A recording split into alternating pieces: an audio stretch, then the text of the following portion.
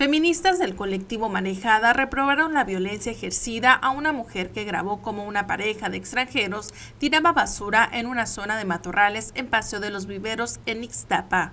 La mujer agraviada comienza a filmar a la pareja que estaba arrojando bolsas de basura en un área verde, pero tras gritarle por la acción, el hombre le respondió que no era basura sino hojas para después agredirla con un bat que saca de la parte trasera de su auto compacto. En el video se muestra como el hombre furioso le gritaba palabras de ofensa mientras le daba un golpe con el bat. Posteriormente el video se corta y con esto se ha desatado una serie de opiniones por el mismo acto de tirar basura en un lugar no establecido, así como la agresión que sufre la mujer.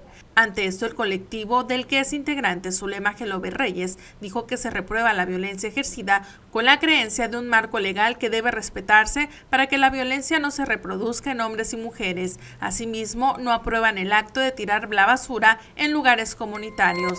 Nosotras, como colectiva, podemos decir de que reprobamos completamente eh, la violencia ejercida.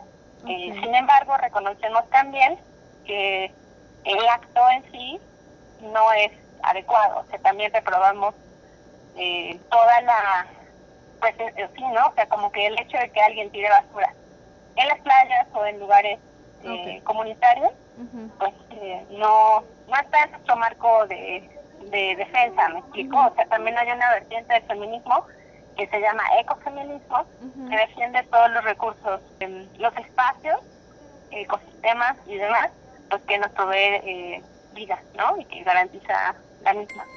Para Mega Noticias, Ruth Sánchez.